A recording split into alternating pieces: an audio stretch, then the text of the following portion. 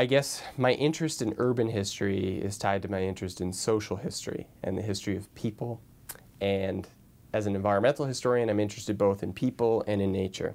So, one thing that stood out to me in the Canadian field is that um, a lot of environmental history literature focuses on wildlife, national parks, provincial parks, big nature.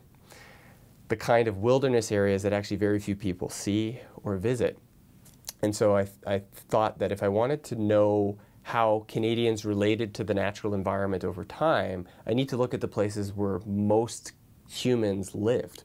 And most humans in Canada, at least for most of the 20th century, lived in cities. Um, and their relationships with animals and plants and other aspects of the non human world are actually quite different from the relationships that you might find in rural places or in wilderness environments.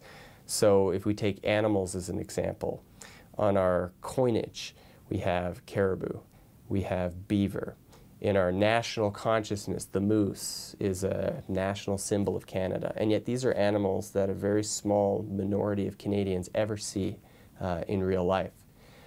In the 19th century and in the 20th centuries, Canadians were more likely to see horses, some cows, pigs, dogs, cats, raccoons, rats, seagulls, pigeons.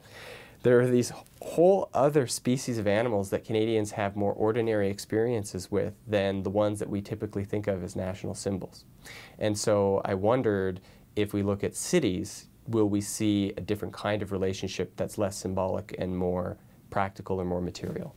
And then can we understand how people in Canada relate to nature both within cities and outside cities by examining how they relate to nature in their everyday lives. So that was my interest in urban environments.